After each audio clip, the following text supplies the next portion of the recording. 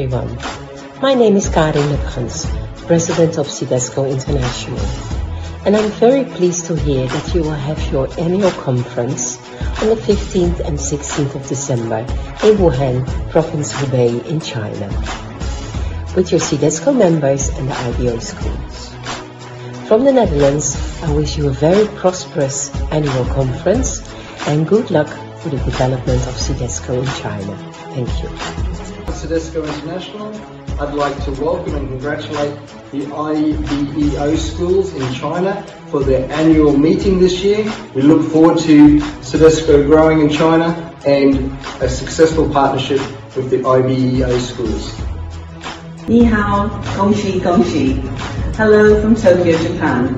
My name is Pamela Atkins and I'm CIDESCO International Education Development Director. Congratulations on a wonderful another year of achievement for your section in China.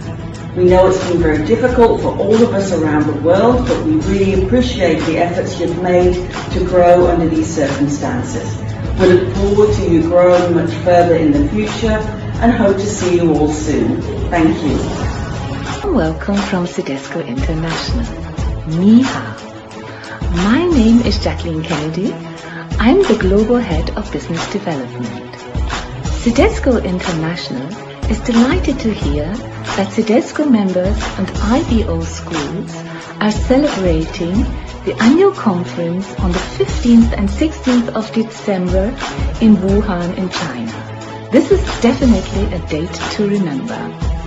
On behalf of CIDESCO International, I would like to wish you a very successful annual conference and I wish you all the best for the future development of CIDESCO International in China. Thank you. Dear members of the IBEO schools in China, I would like to congratulate to you on a successful year and wish you all the best to your upcoming meeting and 2022. I hope that we will meet a lot of you in Bali in the 2022 CIDESCO World Congress.